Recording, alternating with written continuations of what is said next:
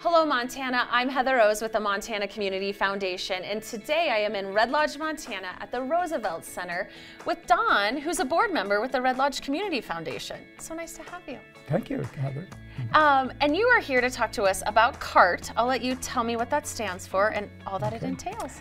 CART is a transportation program. It stands for the Carbon County Area Ride and Transit it's a free transit service uh, with two minivans that we provide uh, five days a week to all residents of Carbon County. It's incredible in so many ways, Don, because when you think about it, COVID really isolated us. But then if you are not able to drive or can't afford to drive, you're really homebound. So this frees yeah. people up. It does indeed. Uh, this emerged from uh, the Red Lodge Area Community Foundation's Age-Friendly Community Initiative.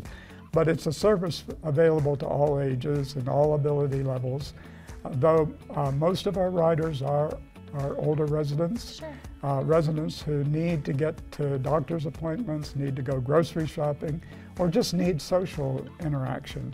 And so it's been a valuable service, a real godsend to many people who are isolated in our large but sparsely populated county. Right, I, what you were saying, just the geographic area, right? And then, you know, maybe you're not comfortable on 212 and then we have winters here and all kinds of weather conditions. So mm -hmm. making a medical appointment or a social activity is so critical.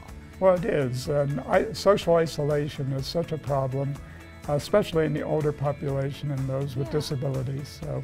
So providing just a wonderful service for anyone in this area to use.